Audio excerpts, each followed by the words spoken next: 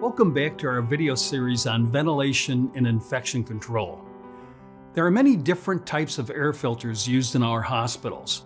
I know because I check them all routinely and I've learned that not all air filters are the same. Air filters are measured by their minimum efficiency reporting value, or MERV rating. The MERV chart ranges from 1 to 20, and the higher the rating, the more particles that are filtered out of the air.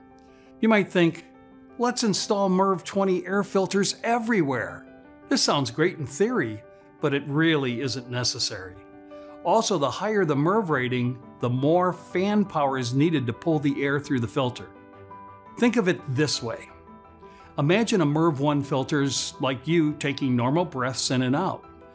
Your nose hairs do a pretty good job of filtering out all the big particles, but every so often you sneeze because something gets through your nose hairs. A MERV 8 filter might be like wearing a simple face mask. No more sneezing. Now imagine that a MERV 20 filter is like you putting on a full face piece respirator.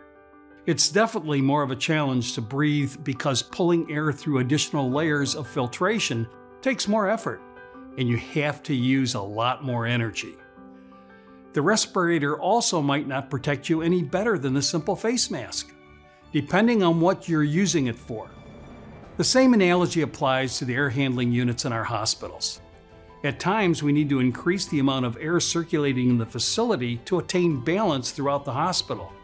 If you still have any questions about air filter efficiencies or want to see the air handling units in your building, your facilities team would be happy to accommodate you.